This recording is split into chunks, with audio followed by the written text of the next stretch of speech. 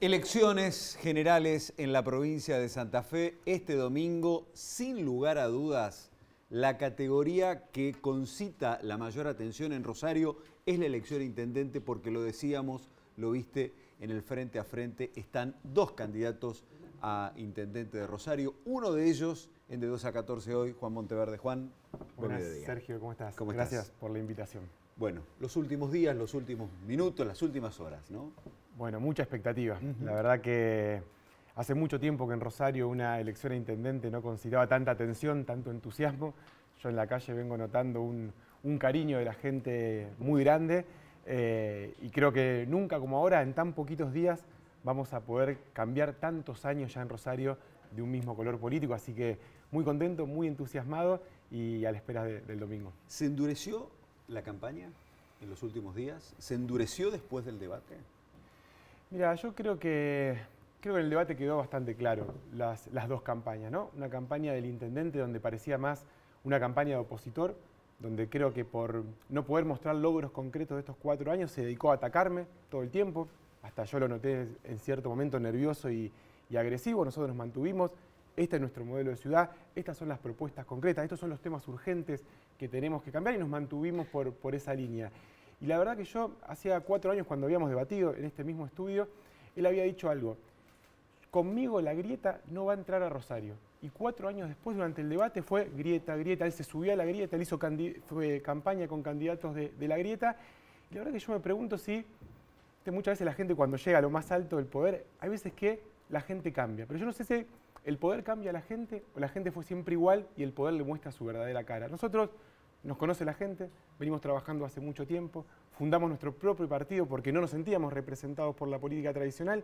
Ahora por la crisis de seguridad dijimos, vengan de distintas tradiciones políticas, acá hay una sola grieta, las mafias por un lado y la gente honesta y trabajadora por otro, y creo que la gente va, a premiar eso en, las urnas. ¿Te preocupa el hecho de que haya habido mucha gente que no fue a votar en la primaria?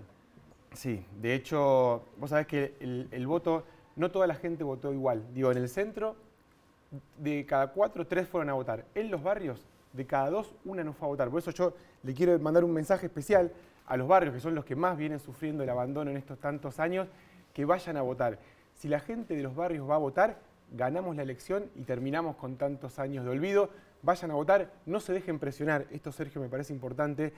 Eh, el aparato del oficialismo está presionando mucho en los barrios. Voten con libertad, voten convencidos por lo que voten, que, que así se cambian las cosas. ¿De qué manera está presionando?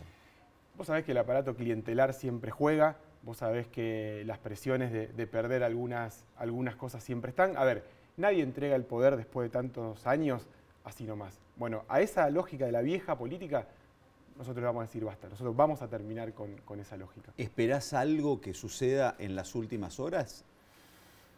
Mira, yo noto mucho nerviosismo de parte del oficialismo, eh, pero nosotros seguimos siempre con las ideas claras, hablándole a la gente. La gente quiere un cambio hace muchos años y lo que hicimos con este nuevo espacio que se llama Rosario sin Miedo es darle esa oportunidad de que, de que Rosario cambie. Por eso no nos vamos a correr de ese, de ese lugar porque el entusiasmo en la calle es muy grande. Eh, ¿Te costó, te cuesta entrar en lo que se denomina el círculo rojo? Mira, ayer estuve en la Bolsa de Comercio. Eh, tuvimos una muy buena reunión y me viene pasando, viene a saludarme uno de los, de los que estaba en la reunión de la comisión directiva, me da la mano y me dice, me voy gratamente sorprendido, nunca te había escuchado.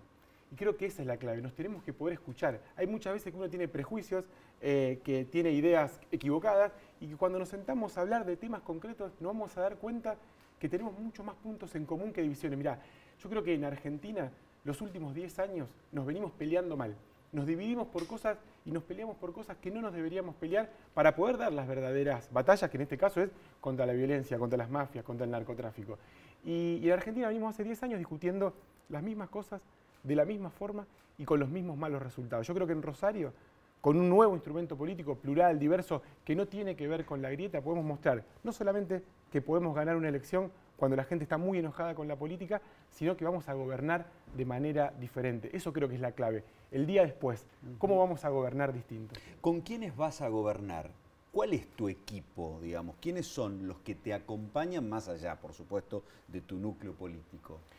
Mira, nosotros venimos trabajando muy intensamente durante los últimos meses. Yo mostré en el debate mi plan de gobierno con 80 políticas públicas que las vienen diseñando equipos técnicos de los más, diría, prestigiosos de la ciudad en términos económicos, en términos eh, urbanísticos, en términos sociales.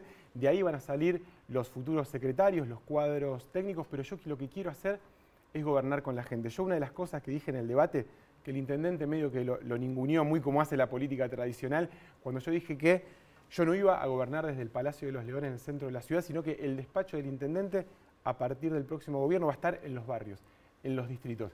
Cuando salí a la calle esta semana, la gente decía, qué buena idea empezar a gobernar cerca de la gente para que la gente pueda controlar a los políticos. ¿Y sabe a quién más le gustó esa propuesta? A los adultos mayores.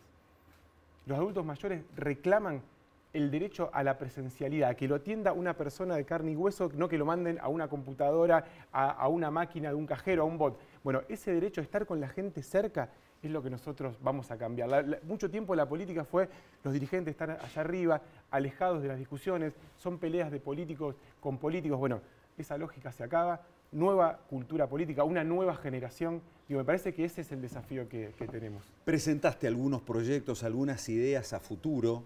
Eh, y una de las críticas fue decir, bueno, pero no contó cómo.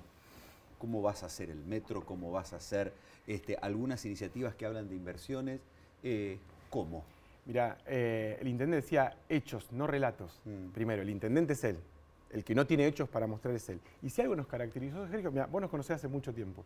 Nosotros creo que somos el único partido en la Argentina que sin ser gobierno, por ejemplo, fundó dos escuelas. ¿Sabes la dificultad que es fundar dos escuelas en los barrios donde el gobierno no las hace junto con la comunidad? Funcionan hace 10 años. Es decir, nosotros, si algo nos caracteriza es en la adversidad, con pocos recursos, hacer grandes cosas. Yo cuando escucho al intendente que no puede hacer con la cantidad de recursos que tiene el municipio, con la cantidad de trabajadores, lo que falta es la conducción. Lo que falta es un intendente que lidere. Lo que falta es un intendente que diga yo quiero ir allá, entusiasmo a mi población y vamos con a resolver los problemas que tenemos. Ahora parece que los problemas dependen de otro, dependen de la provincia, dependen de la nación. O sea, el intendente se está postulando a un cargo para el cual parece que no hay respuestas. Mi pregunta es, si no ganan sus candidatos en la otra categoría, ¿qué va a hacer? ¿Va a renunciar como intendente? Mis 80 propuestas se pueden hacer desde Rosario, para Rosario, con creatividad, con ingenio, con ganas de trabajar. Mira, el intendente yo creo que piensa que porque él no pudo, nadie más tiene el derecho a intentarlo. Y creo que lo que tenemos que hacer es una nueva generación. El intendente, mira, en el 2001, el primer que se vayan todos ya era concejal, después fue diputado provincial, después fue diputado nacional, después fue secretario de FEIN, después fue concejal, después fue intendente y ahora quiere ser intendente porque ahora sí va a poder. 25 años como parte del sistema político. Creo que alguna responsabilidad en la situación que vivimos, tanto en los colectivos que no pasan o en la basura que no se pasa a buscar, como esta democracia que tenemos, tiene una responsabilidad.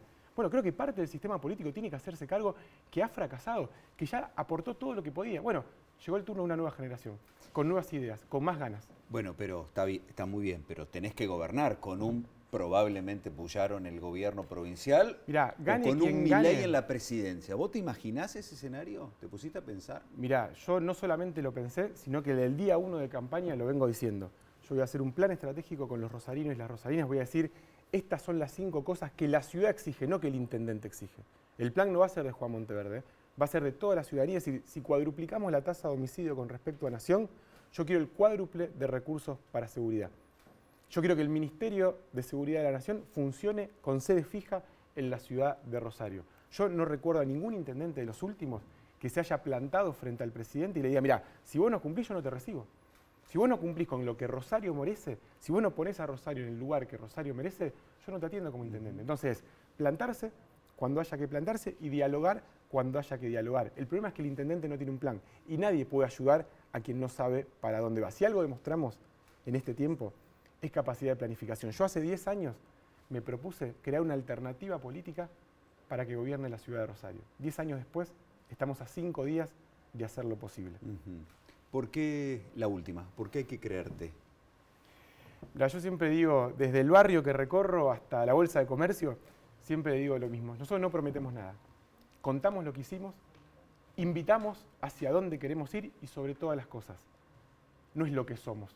No es qué camiseta partidaria tiene cada uno puesto. No es si uno está laburando, si el otro es el dueño de una, de una pymes hacia dónde queremos ir. Y yo quiero ir a una ciudad sin miedo, quiero ir a una ciudad libre, quiero ir a una ciudad donde cada uno puede elegir su proyecto de vida y que al lado tenga un gobierno que te ayude, que te haga la vida más fácil, que no te la complique más.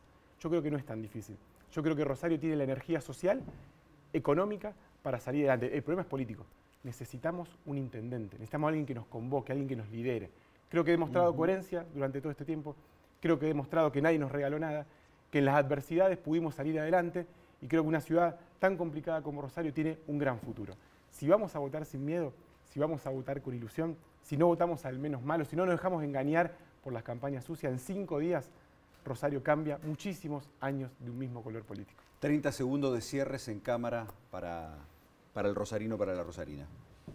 A ver, ya la gente nos, conoce, creo que en esta campaña hemos mostrado que somos gente de palabra, que cumplimos, que, que, no estamos dispuestos a decir y hacer cualquier cosa con tal de sacar un voto más y que en cinco días en Rosario podemos ir a las urnas con, no con el miedo de lo que podemos llegar a perder, sino con la ilusión y las ganas de lo que podemos llegar a ganar. Si la gente que nos está mirando, y sobre todo la gente de los barrios, va a votar el domingo, ganamos la ciudad y de una vez por todas cambiamos las prioridades y tenemos la Rosario que nos merecemos. Suerte para el domingo. No, gracias Sergio. Pausa, ya venimos.